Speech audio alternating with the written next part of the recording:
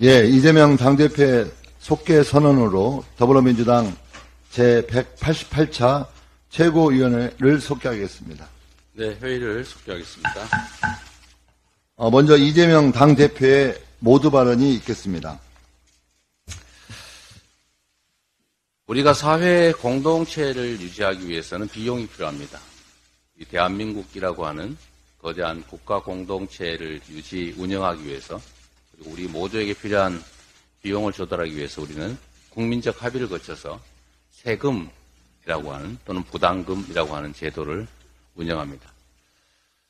어, 소득의 공평한 분배, 자원과 기회의 효율적 활용을 위해서 어, 누가 어떤 기회를 가질 것인가를 정하는 것이 바로 법과 제도일 것입니다. 누군가가 고통받을 때 그 고통의 기회를 이용해서 많은 이익을 얻기도 합니다. 이번 코로나 사태 그리고 이번 경제 위기 상태에서 이 위기 덕분에 특별한 과도한 이익을 얻는 영역이 있습니다. 대표적인 게 금융 그리고 에너지 기업들일 겁니다. 부당하게 얻은 것은 아니지만 그러나 누군가의 대다수 국민들의 고통 속에서 그 고통을 기회로 얻은 이 과도한 이익들의 일부를 우리 모두의 이익을 위해서 제대로 사용하자라고 하는 것이 바로 서구 선진 국가들이 도입하고 있는 횡재세라고 하는 것입니다. 이 횡재세는 어, 다른 나라들도 다 도입한 제도이기도 하지만 우리도 반드시 도입해야 될 문제입니다. 고금리로 고통받는 우리 국민들의 어려움을 덜어드리는 또 고에너지 예, 물가 때문에 고통받는 우리 국민들의 삶을 개선하기 위해서 반드시 필요한 제도입니다. 그런데 이 점에 대해서 어, 대통령께서도 어, 여당도 동의하는 것 같습니다. 그런데 문제는 방식입니다. 혹시 여러분 그 자리세하고 세금의 차이를 아십니까? 내용은 어찌 보면 똑같습니다. 아, 똑같은 자리에서 영업을 하는데 누군가 힘센 사람이 대가랍시고 뜯어갑니다. 그걸 보통 우리는 자리세라고 부르죠. 그런데 그 자리에서 누리는 혜택의 일부를 모두를 위해 쓰자라고 합의를 거쳐서 제도를 만들면 그게 바로 세금입니다. 그런데 대통령과 이 금융위원장, 금감원장이 취하는 태도들이 약간은 이 법과 제도에서 어긋나 있는 것 같습니다. 금융위원장과 금감원장이 20일에도 금융지주 회장들을 불러놓고 사회적 책임을 얘기하면서 그 부담금을 좀 내라라는 식의 압박을 가했다고 합니다. 어, 제가 이렇게 말씀드리고 싶습니다. 이게 윤석열 특수부 검찰식 표현으로 하면 이런 게 직권남용입니다. 그래서 합법적으로 국민적 합의에 기초해서 행제세를 도입하는 이 법안 협의에 신속하게 나서 주시기를 바랍니다. 자리세를 뜯을 게 아니라 정당하게 세금을 걷어야 되겠습니다. 노란봉투법, 방송 3법, 이거 대통령께서 즉시 공포해야 합니다. 다시 땡전 뉴스 대신에 땡윤 뉴스가 KBS를 시장하고 있다고 합니다. 수치스럽지 않습니까? 사회와 역사는 앞으로 나아가야 하는데 어찌다 어쩌다가 이 완전히 과거 수십 년 전으로 순식간에 퇴행하고 있습니다. 방송법, 노란봉투법, 합법파업 보장법 즉시 공포하시기를 바랍니다. 역사와 민주주의 발전에 역행하는 그런 일들이 기록되지 않기를 바랍니다.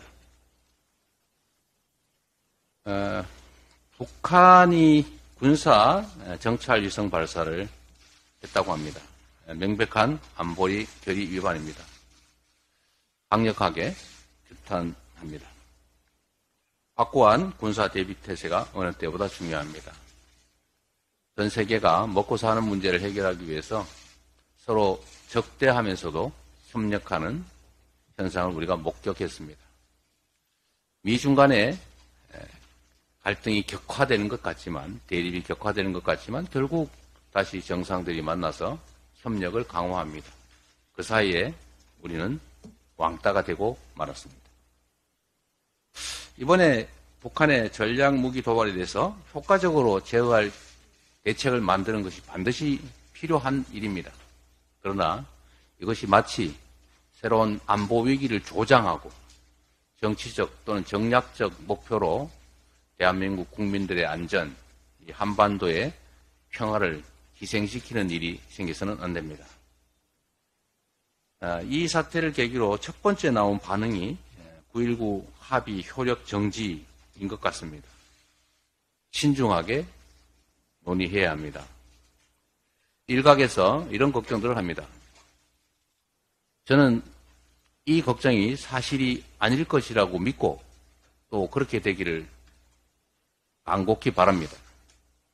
정치적으로 위기에 처하고 선거 상황이 나빠지면 혹시 과거의 북풍처럼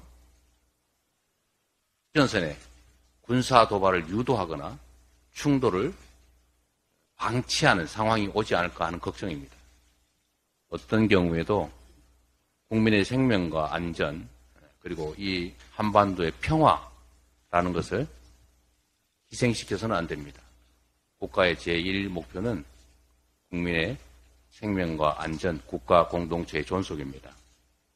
정치적, 정략적 목적으로 안보와 민생을 희생시키는 일은 결코 국민과 역사가 좌시하지 않을 것이다. 라는 말씀을 드립니다. 고맙습니다. 예, 다음으로 홍익표 원내대표의 발언이 있겠습니다. 앞서 지금 이재명 당대표님 말씀 듣 다가 한 가지 생각난 게 있습니다. 여러분이 혹시 준조세라는 걸 아시는지 모르겠습니다. 예, 과거 군사독재, 권, 권위주의 정권 시절에 있었던 준조세는 사실 조세가 아닌데 조세에 준하는 것이라고 해서 예를 들면 사회적 재난이나 참사 또 여러 가지 국가 방위성금 등의 예, 재벌 대기업으로부터 정부가 사실상 압박을 해서 예, 돈을 내게 했습니다. 그래서 이걸 조세는 아닌데 준조세라고 표현을 했는데요. 이게 문제가 되는 것은 사실상 제도화되지 않은 세, 그, 이, 정부의 강압에 의해서 돈을 소위 억지로 내게 만든 것이기 때문에 이후에는 반드시 그 해당 기업에 대한 대가성 특혜가 따라가게 돼 있습니다. 아, 저는 윤석열 정부가 그런 과거 권위주의 정권 시절에 준조세를 부활시키지 않았으면 좋겠습니다. 어, 필요하면 제도적 정착을 통해서 세금을 걷든 예, 부담금을 내게 만드는 것이 합당한 것이라고 생각을 합니다. 그게 법치고 상식입니다. 어, 우리 당 소속 의원들과 정치인들의 사려 깊지 못한 언행으로 국민께 상처를 드리고 당의 입장과 관계없는 무분별한 주장으로 혼란에 들, 혼란을 드린 것에 대해 원내대표인 저의 책임이 가장 큽니다. 어, 진심으로 사과드립니다. 더불어민주당은 더욱 겸손하고 낮은 자세로 국민의 목소리에 귀 기울이고 국민의 기대와 염려에 부응할 수 있도록 최선을 다하겠습니다. 당의 입장을 고려하지 않은 언사와 당내의 갈등을 부추기는 언행에 대해서는 향후 엄정하게 대처하겠습니다. 소속 의원들께서도 정치인의 말과 행동에 따르는 책임을 무겁게 여기고 절제된 언어와 품격적인 활, 품격 있는 활동으로 임해 주실 것을 거듭 부탁드립니다. 어젯밤 북한이 군사정찰 위성을 발사했습니다. 유엔 안보리 결의안 위반이자 한반도와 동북아 지역의 긴장과 갈등을 고조시키는 잘못된 행동입니다. 우리 정부는 국제사회와 공조를 통해 이 문제를 단호하면서도 슬기롭게 다루어야 할 것입니다. 그 어느 때보다 국제정세가 불안하고 한반도 위기관리가 중요한 시점입니다. 국가안보와 국민 안전을 최우선으로 한반도와 동북아 지역의 평화와 안정을 위한 관련국들의 다자간 대화 복원이 필요합니다. 북한의 도발을 단호히 규탄하며 어, 정부의 어, 효과적인 효율적인 대응을 주문합니다. 그렇지만 북한의 군사정찰 위성 발사를 이유로 9.19 군사합의의 일부 효력을 정지하는 것은 잘못된 처방입니다. 9.19 군사합의는 장거리 로켓 발사와는 별개로 남북 간 접경 지역의 우발적 충돌을 방지하기 위한 것입니다. 이것은 더욱 유지, 확대 발전시켜야 합니다. 정부가 문제는 해결하지 못하면서 북한의 도발, 도발에 빌미만 주고 남북한의 갈등을 부추기는 선택을 하는 것은 바람직하지 않습니다. 어, 미국도 최근 우크라이나 전쟁, 중동 정세 등을 감안해서 어, 남북한의 한반도 지역의 긴장을 확대시키지 않으려고 매우 조심스러운 입장을 취하고 있는 것을 잘 유념하기 바랍니다. 이- 그야말로 한미동맹이 더 중요한 시점입니다. 미국의 입장이 무엇인지를 잘 헤아리면서 우리 당국이 외교를 펼치기 바랍니다. 외교는 국내적 정세에 정치적 입장을 강화하기 위해 활용한다면 반드시 그 외교는 더 큰 대가를 지불하게 될 것입니다. 정부가 일자리로 힘든 국민은 외면하고 단편적 통계를 자화자찬하며 무능을 숨기고 있습니다. 최근 고용 동향이 역대 최고 고용률과 최저 실업률을 기록했다며 성과가 큰 것처럼 과시한 것입니다. 정부는 자랑을 드러놓지만 조금만 깊이 들여다보면 심각한 문제가 드러납니다. 노동시장에 중추가 되어야 하는 청년과 40대 취업자 수는 감소하고 소위 좋은 일자리를 할 수 있는 제조업 취업자도 줄어들었기 때문입니다. 청년 취업자 수는 12개월 연속, 제조업 취업자 수는 10개월 연속 감소하고 있습니다. 제대로 된 일자리가 없으니 취업하는 청년들은 음식점, 카페, 편의점 등 저숙련 일자리를 찾을 수밖에 없습니다. 이들은 낮은 임금과 짧은 근속 기간에 시달리고 이직도 어렵습니다. 이것이 20대 후반 고용률이 22개월 연속 최- 역대 최고 수준이라고 스스로를 지켜 세운 경제부총리가 말한 청년 고용의 실상입니다. 취업자 수 증가의 대부분을 차지하는 고령층 사정도 다르지 않습니다. 노후 불안으로 생활비를 벌, 벌어야 하는 어르신들은 저임금 일자리인 경비, 청소 임시직과 음식점에서 주로 일하고 계십니다. 이런 상황은 노동시장의 임금 격차를 확대시키는 원인으로 지목받고 있는 것입니다. 정부가 경제를 파탄 지경으로 만들고 있는데 일자리 상황이 좋을 리 없습니다. 마음껏 일해야 하는 청년과 40대는 일자리를 찾지 못하고 증가하는 고령층 취업자는 생활을 위해 낮은 임금을 감수하고 있습니다. 윤석열 정부는 낯뜨거운 자화자찬으로 국민을 속이지 말고 실질적인 일자리 대책으로 좋은 일자리와 적정한 임금이 제공되는 노동시장을 만드는 데 힘써야 할 것입니다. 더불어민주당은 이번 예산안 심사 과정에서 일자리, 특히 청년 일자리와 관련된 예산은 적극적으로 반영하겠습니다. 어, 정부 당국의 협조를 다시 한번 부탁드립니다. 예, 다음으로 정청래 최고위원의 발언이 있겠습니다. 어제 영화 속 이야기 같은 엄청난 폭로가 있었습니다. 그런데 사위가 고요합니다. 언론도 거의 다루지 않았습니다. 남의 눈에 티끌은 찾아내서 끝까지 추적하던 그리고 발언하던 검찰도 조용합니다. 내 눈에 대들보라서 그렇습니까? 어제의 폭로가 사실이 아니니까 고요합니까? 아니면 사실일까봐 두려운 겁니까? 어, 어제의 폭로를 잠깐 요약해서 보여드리는 걸로 제 발언을 대신하도록 하겠습니다.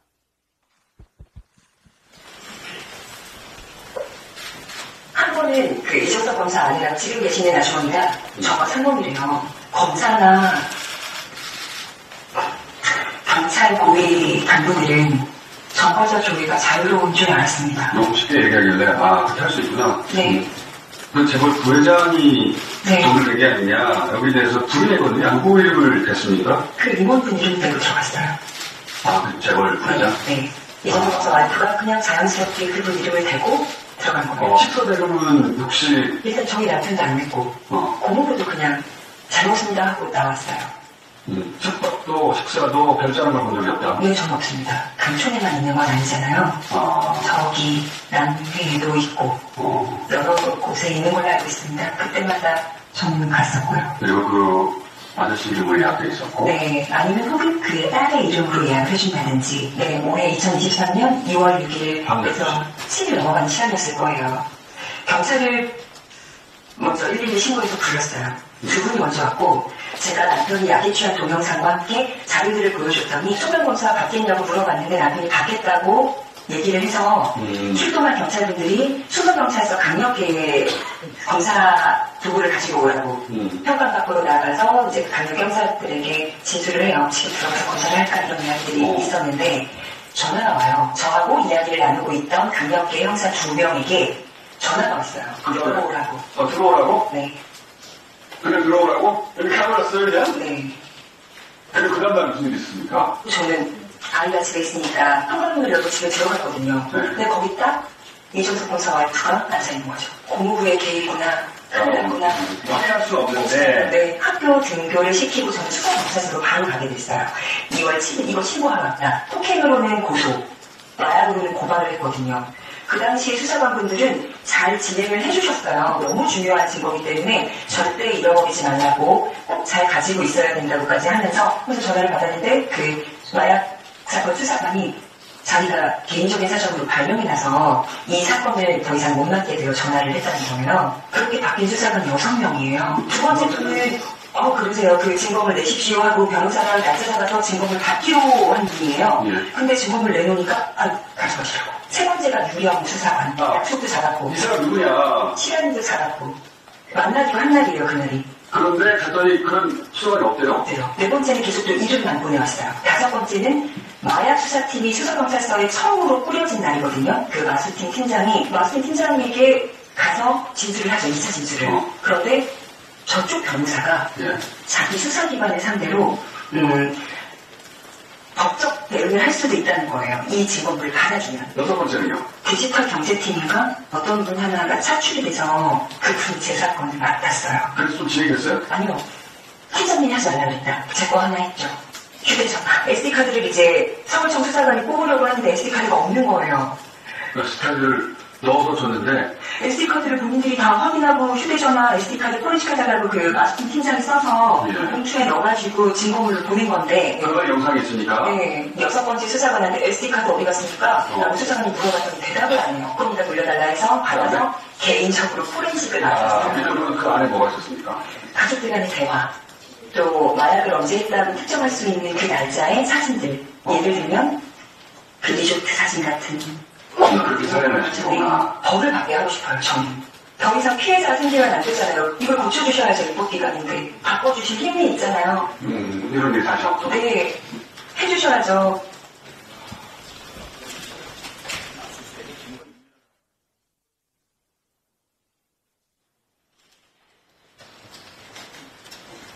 다음으로 고민정 최고위원의 발언이 있겠습니다.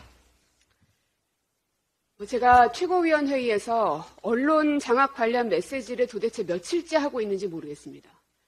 하루도 거르지 않고 계속 지적을 하고 있는데요. 그만큼 이동관 위원장은 국회 탄핵 요구 또 국민들의 갈수록 높아지는 탄핵 동의 상황들을 보면서 발등에 불 떨어진 사람처럼 굴고 있는 것 같습니다.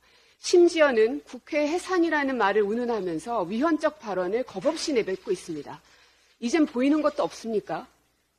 이동관 위원장의 해당 발언에 대해서 국민의힘의 입장 그리고 대통령의 입장을 기다리겠습니다. 이동관 위원장이 이끌고 있는 불법적인 2인 방통위에 대해서 다시 한번 경고합니다. 공공성과 공익성이 생명인 보도 전문 채널 YTN과 연합뉴스 TV를 이동관 위원장 탄핵 전에 민간 자본에 팔아넘기기 위해 방송 법령에 따른 방통위의 의무를 해태하고 졸속 심사를 할 생각이면 지금 당장 중단하십시오. 24시간 보도 전문 채널이 가진 사회적 영향력을 고려할 때 양 방송사의 최대 주주 변경 심사와 승인은 매우 공정하고 엄격하게 이루어져야 합니다. 심사위원 구성부터 심사 의결까지 아무리 적게 잡아도 두 달여의 시간이 필요한 일입니다. 이를 일주일 만에 끝낸다는 것은 사실상 심사 없이 민간 자본이 보도 전문 채널을 지배할 수 있는 길을 열어주는 특혜를 제공하고 이를 통해 정권이 우회적인 방식으로 보도 전문 채널을 좌지우지하겠다는 속셈입니다. 방통위가 방송 법령을 엄격하게 적용한다면 유진그룹과 을지학원은 보도 전문 채널의 최대 주주가 될 자격이 없습니다. 검사 뇌물, 상습 담합, 주가 조작 의혹 등이 불거진 유진그룹이 YTN 최대 주주가 되면 방송의 공정성과 공익성을 담보할 수 있습니까? 의료법인 운영자 지위를 인용한, 이용한 상습적 마약성 진통제 투약, 수백억 대 시세 차익을 남긴 갑질 투기 의혹이 불거진 을지학원이 연합뉴스 TV의 최대 주주가 될 자격이 있습니까? 방송장악에 나서고 있는 윤석열 정권 뜻대로 YTN과 연합뉴스 TV 민영화 조치가 성공해서는 안 될 것입니다. 아, 그렇게 되면 역사는 그 일을 언론 자유 훼손과 민주주의 파괴 폭거로 기록할 것입니다. 이동관의 병풍 뒤에서 진행되고 있다는 심사위원단 구성에도 주목하고 있습니다. 만약 심사위원들이 방통위의 위법적 졸속 심사에 들러리 역할을 한다면 이 또한 사법적 책임으로부터 자유롭지 못할 것입니다. 심사위원단은 오직 방송 법령에 따라서 유진그룹과 을지학원이 보도 전문 채널 최대 주주 자격이 있는지 역사와 국민 앞에 떳떳한 심사를 해야 합니다. 이동관 위원장의 졸속 승인 추진에 협조하는 방통위 관계자들도 마찬가지입니다. 심사 관련 실무를 담당하고 있는 방송정책국 등 관계자들은 공무원으로서 법령을 준수해야 하고 의무 없는 일을 해서는 안 될 것입니다. 만에 하나 위법 행위를 저지를 경우에는 법적 책임을 져야 될 것이란 점도 잊지 마십시오.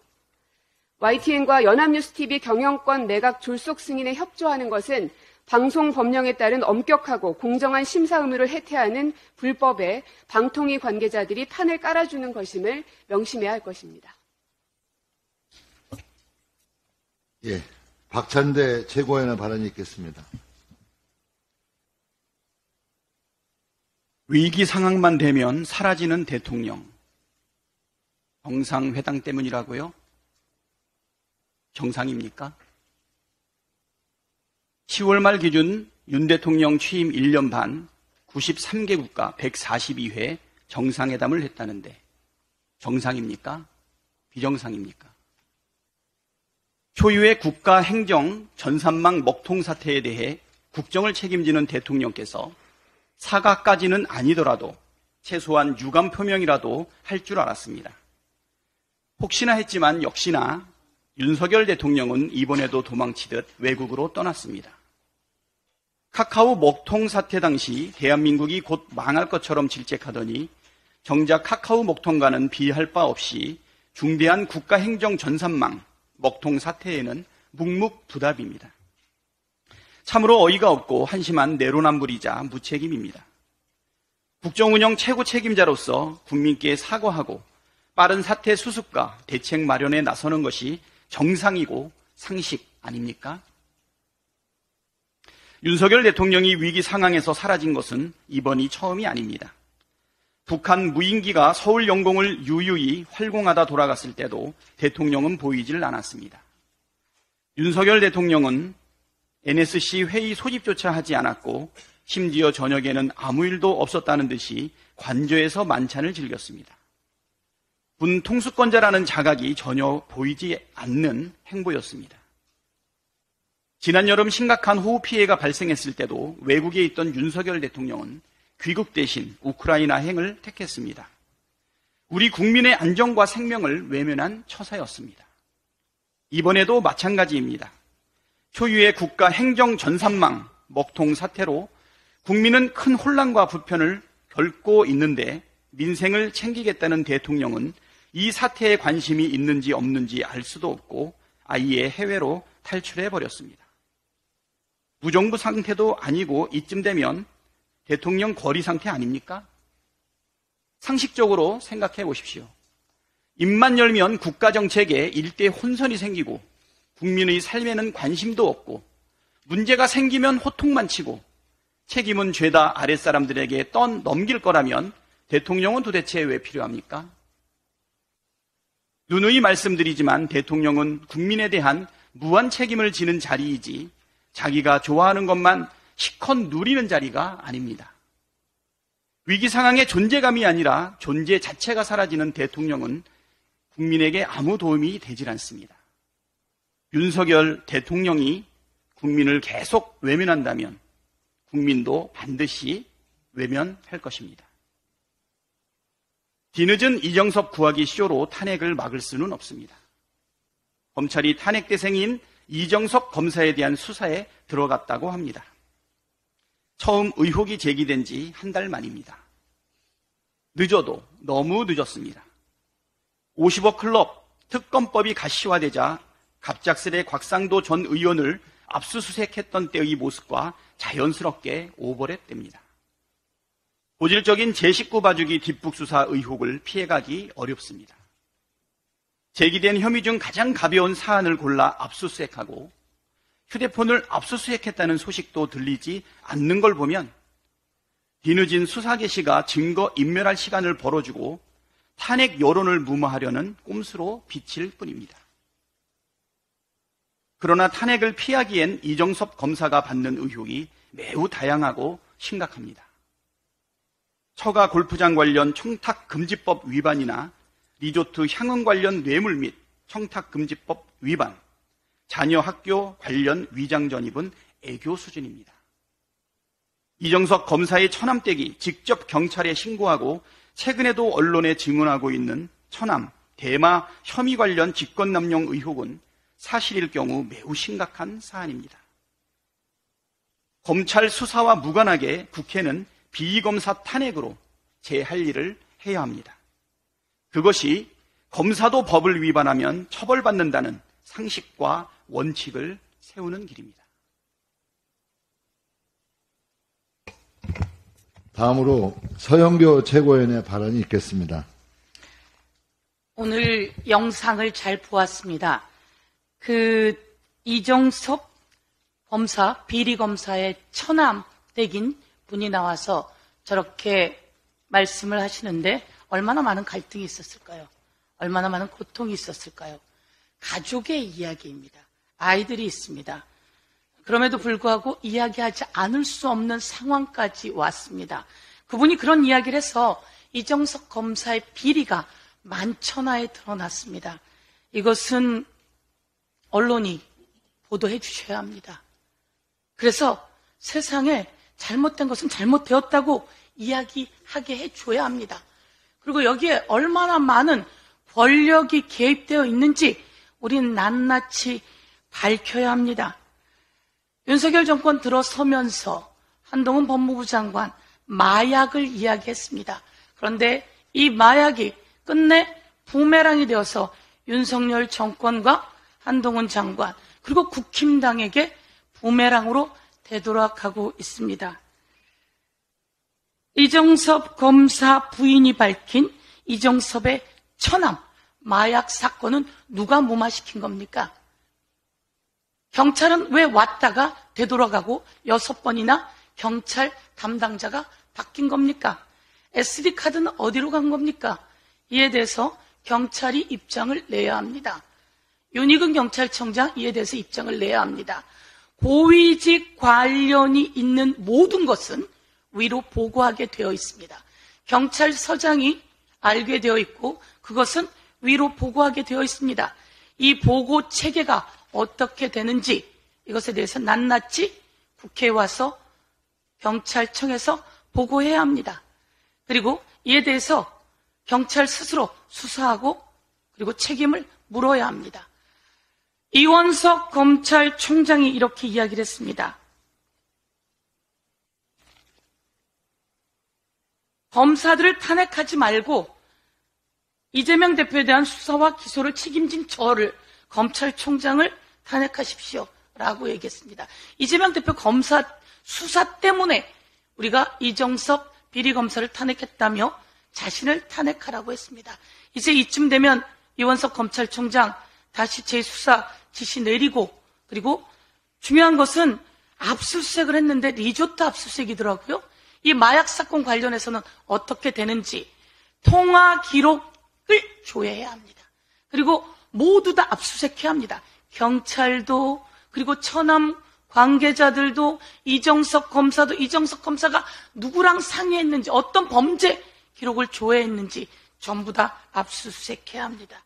그리고 이에 대해서 발언했던 이원석 검찰총장도 책임져야 합니다. 이에 대해서 한동훈 법무부 장관 마약을 그렇게 이야기했는데 누구 마약은 잡고 누구 마약은 다 봐주는 거였습니까? 오늘 저는 한 가지 더 이야기하겠습니다. 마약 성과를 내기 위해서 국정원에서 정보 제공자, 정보 제공자를 두고 허위 마약 제보를 받고 이 허위 마약 제보를 통해서 마약을 했다며 시민을 구속하고 재판까지 올렸던 사실이 있습니다. 허위 제보 로 일반 시민을 재판까지 받게 하는 그런 사건을 만들고 그러면서 마약 성과는 내고 이렇게 검사의 처남 그리고 검사가 관계된 마약 사건은 무마시킨 것에 대해서 한동훈 법무부 장관이 책임져야 합니다. 한동훈 법무부 장관, 이와 관련해서 한 가지만 더 제공하겠습니다.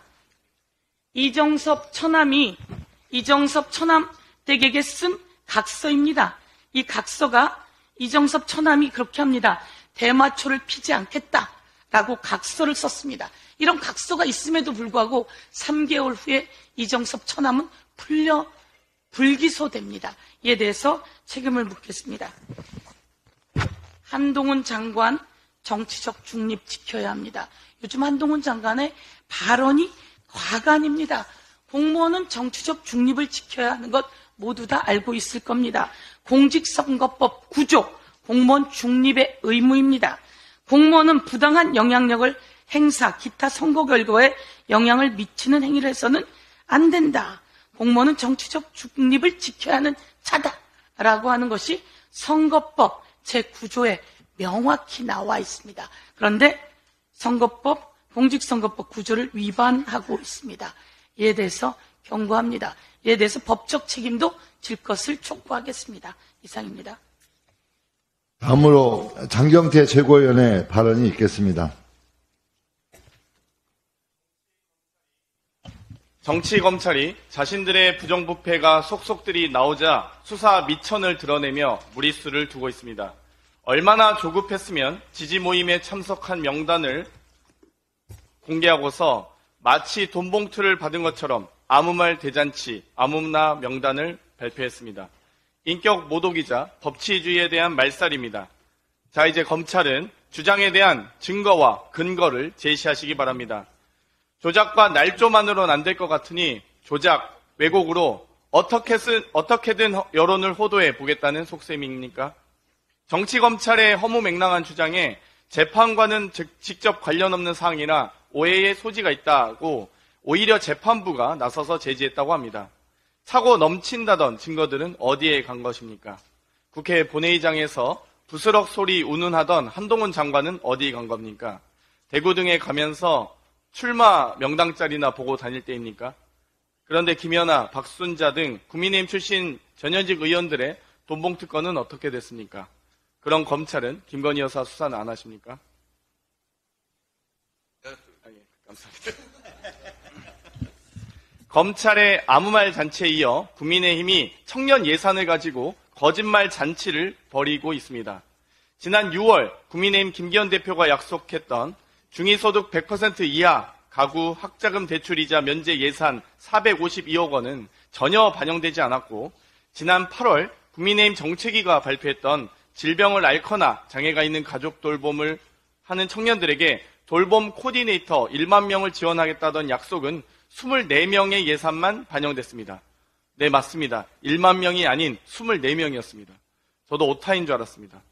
청년들의 마음, 청심을 각별히 챙기겠다던 김기현 대표의 말은 청년들에게 뒤통수로 돌아온 것입니다. R&D, 청년 예산 삭감 등 야당이 반대하고 복원하려 하자 말로만 복원을 외치고 행동은 반대로 하고 있습니다. 양두구육 여당, 양두구육 예산이 따로 없습니다. 윤재혁 원내대표는 뒤늦게 아직 예산 심사 중이다. 본격적으로 심사하면서 특별히 챙기겠다고 밝혔습니다. 아직까지도 본격 심사를 안 하시고 뭐하고 계셨던 것입니까? 하기 싫거나 용산 눈치가 보이신다면 야당의 청년 예산 회복에 무임승차하셔도 좋습니다. 여당의 예산 무임승차는 조용히 눈 감아드리겠습니다. 대신 남은 예산 심사 기간 동안 조용히 잘 따라오시기 바랍니다. 이상입니다. 이거 제가 잘 든 거예요? 근데 이거, 이걸 보니까 아까도 말씀드렸는데 정부 여당이 거짓말을 너무 많이 하는 것 같습니다. 예, 끝까지 반대하다가 어쩔 수 없이 국민들의 동의를 받고 난 다음에 자기들이 했다. 예, 최종적으로 우리 야당 주장에 동의해 주신 건 고맙긴 한데 거짓말은 안 했으면 좋겠습니다. 이곧 조작 전문당, 거짓말 전문당으로 전락할 수도 있습니다. 잘 들었어요, 제가? 다음으로 서은석 최고위원의 발언이 있겠습니다. 3개월 연속 소비자 물가 상승, 은행 예금 금리 인하, 그리고 대출 금리 인상, 역대급 수출 적자 장기화, 윤석열 정권의 무능을 규탄하기 앞서 고통받는 서민과 국민을 생각하면 가슴이 아픕니다. 추운 겨울이 서민을 덮치고 있습니다. 기초생활수급자, 차상위 계층은 물론이고 고통받는 영세 자영업자와 비정규직 노동자의 삶을 보호하기 위한 대책을 야당, 민주당이라도 최대한 준비해야 합니다. 해도 해도 너무한 윤석열 정권의 무능한 경제 운영, 소도둑이 바늘 도둑을 나무라는 격인 윤석열 정권 권력기관의 염치 없는 뻔뻔함, 자신들의 무능과 뻔뻔함을 감추기 위한 방송 장악, 물론 이런 일에 분노하지 않는다면 대한민국을 사랑하지 않는 것입니다. 그러나 우리 민주당은 분노하기에 앞서 윤석열 정권의 폭정으로 고통받는 국민에게 겸허한 자세를 가져야 합니다. 윤석열 정권의 집권을 막지 못하고 윤석열 정권의 총체적 폭정을 막지 못하여 국민 여러분께 진심으로 죄송합니다.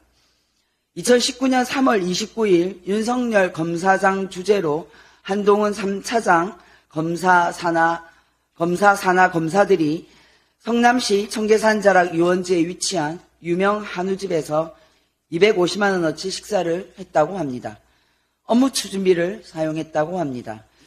이런 일은 뻔뻔하게 감추고 야당 인사들의 출퇴근 시간까지 표적 조사, 표적 조사하여 공격하는 자신들의 본 모습을 감추기 위해서 이동간 방통위원장을 앞장세워 방송을 장악하고 땡뉴 뉴스로 국민을 속이려 하는 윤석열 정권입니다.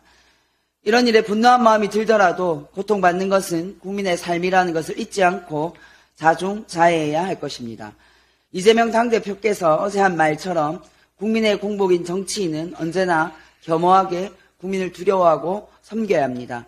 정치인에게 말 한마디는 천근의 무게를 지녔습니다. 말과 행동 하나하나에 늘 진중하고 세심해야 합니다. 다시 한번 윤석열 정권의 무능과 폭정에 고통받는 국민 여러분께 고개 숙여 위로의 말씀을 올립니다. 민주당이 더 혁신하고 더 노력하겠습니다. 마지막으로 박정현 최고위원의 발언이 있겠습니다. KBS 박민 사장이 추진하는 공영방송 정상화는 국민 시청권 침해와 비정규직 제작진에 대한 탄압입니다. 박민 사장의 사퇴만이 공영방송 KBS를 정상화할 수 있습니다. 한국인이 좋아하는 방송 영상 프로그램 전체 4위, 시사교양 부분 1위. 그런데 13일 아침 난데없이 편성표에서 사라졌다 16일 폐지 확정. 고정 출연자는 고사하고 진행자도 몰랐던 프로그램 폐지. 박민 사장이 취임하면서 점령군처럼 밀어냈던 국민이 사랑한 프로그램 더 라이브. 더 라이브 폐지로 편성권과 국민 시청권 침해는 물론이고 매일 밤 자정까지 생방송에 헌신했던 수많은 프리랜서 제작진들이 하루아침에 일자리를 잃게 되었습니다. KBS 측이 16일 더 라이브 폐지를 확정하고도 4주간 대체 편성 프로그램을 내보내고 폐지하는 것은 프리랜서 제작진과 계약을 종료할 경우 4주 전에 통보해야 한다는 KBS 프리랜스, 프리랜서 계약서 내용을 어기지 않으면서 부당 해고라는 법적 책임을 회피하기 위한 박민 사장의 꼼수입니다. 프리랜서 제작진은 열악한 처우에도 국민들에게 사랑과 신뢰를 받는다는 자부심으로 밤낮 없이 일했는데 땡윤 뉴스만 부활시킨 박민 사장은 제작진에 대한 탄압으로 답했습니다. 지금 KBS 시청자 청원 게시판은 더 라이브 폐지 철회와 박민 사장 사퇴를 요구하는 시청자들의 글로 도배되고 있습니다. 공영방송 KBS의 주인은 국민입니다. 국민이 시청자가 말씀하십니다. 박민 사장은 아웃입니다.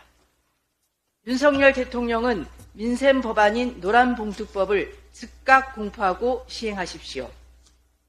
하청 노동자들이 원청과 실질적인 교섭을 할 수 있도록 하고 파업에 대한 기업의 무분별한 손해배상 청구를 제한하는 노란봉투법이 지난 9일 국회를 통과하고 대통령의 공포를 기다리고 있습니다.